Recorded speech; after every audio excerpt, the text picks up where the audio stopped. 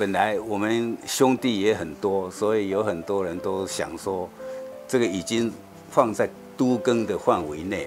所以很多人都想说把它拆掉，变成一个公寓。大家要想一想，这个已经是我们的 key 基础啊，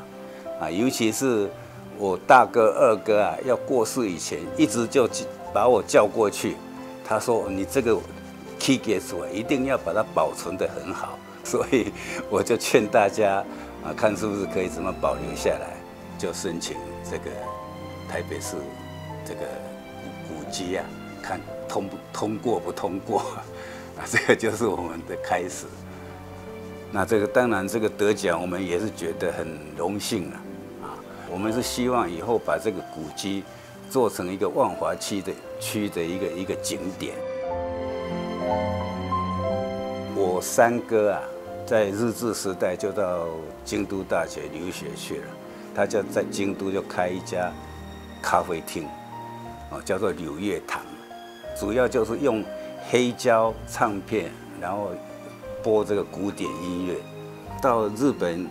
对咖啡有兴趣的人，应该都会知道他这个景点，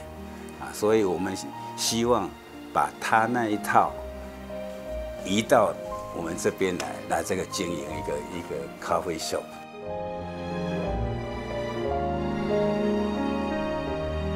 照那个建筑师的设计，从一楼到二楼是连贯的，咖啡厅也好，或者什么商场什么东西都可以看，以后再看着怎么办嘛。那二楼呢，我们是准备说，比如说我们以前比较旧的，我妈妈啦他们用的那个家具啊。把它修修理一下，然后再展示在这个二楼的空间上面。剩下的空间呢，我们会会做那个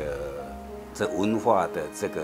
广场或者怎么样，有需要使用什么会议啦，这我们就在二楼，我们就可以开放一些空间。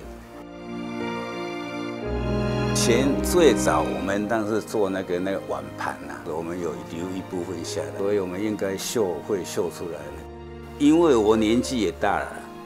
我是希望在我有生之年能够把它这个赶快整理好，啊，我可以看得到。